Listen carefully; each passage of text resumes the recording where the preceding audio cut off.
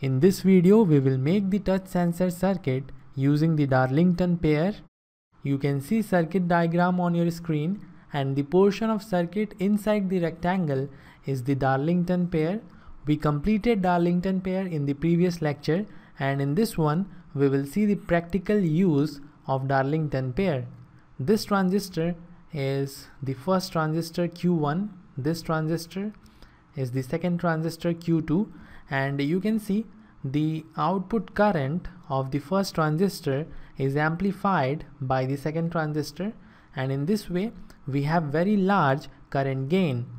If beta 1 is the current gain of first transistor and beta 2 is the current gain of second transistor then these two transistors combined will have current gain equal to beta 1 multiplied with beta 2.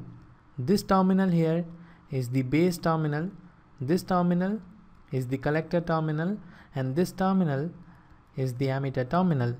We are using clear lens LED, we are using clear lens light emitting diode. And the color of diode I am using in this experiment is red. Cathode of light emitting diode is connected to the collector. And anode of the light emitting diode is connected to the 100 ohm resistor. Then we have voltage source which is equal to 9 volts and you can see positive terminal is connected to this terminal of the resistance and the negative terminal is connected to the emitter.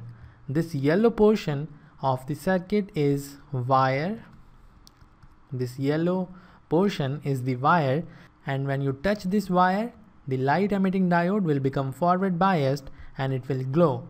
And why the light emitting diode is glowing?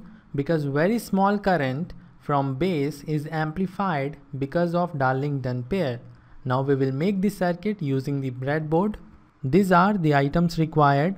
We are using one 9 volt battery, 100 ohm resistor, 2 NPN transistors, one clear lens LED and few wires for connection purpose.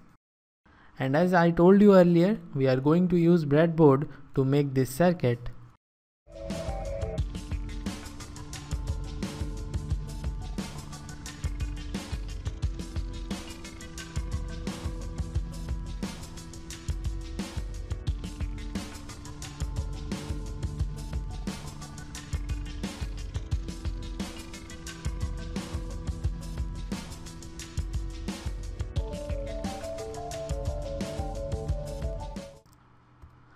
Our touch sensor is now complete. This is the sensor wire and when you touch this wire, the LED will glow. To see this more clearly, I will switch off the lamp. You can see the LED glowing. Now I will turn off the light of my room and when I touch this wire, the LED will glow. So this is all for this video. See you in the next one.